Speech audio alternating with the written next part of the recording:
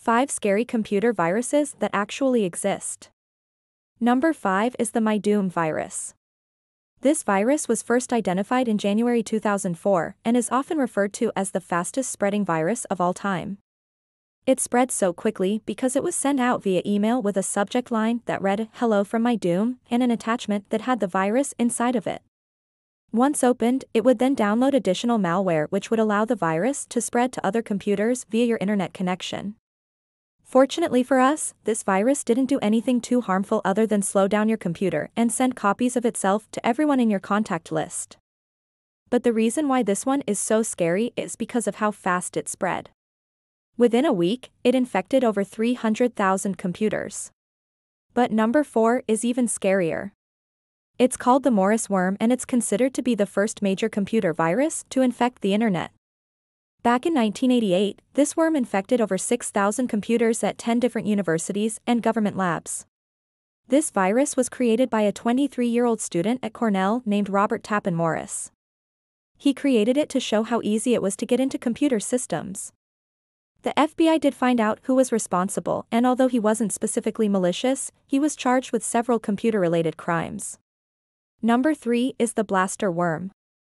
This worm is scary because it targeted Microsoft's Windows operating system, which are widely used worldwide. Once it got onto your computer, it would then send copies of itself to the next available IP address and it spread so quickly that within two weeks it infected over 250,000 computers in 140 different countries. Although in the end it didn't do much harm, it could have been much worse had the virus been more sophisticated. But it gets worse with number 2. This virus is called WANA Decryptor and it's one of the most dangerous computer viruses ever created. In May 2017, it infected over 200,000 computers in 150 different countries, and the damage caused by it is estimated to have cost over $11 billion. Unlike most viruses, this one actually encrypted the files on your computer, rendering them unusable, and then demanded a ransom be paid in order to decrypt them. The FBI was able to create a tool that partially mitigated the damage caused by this virus, helping to rein it in. Number 1 is the most scary of them all.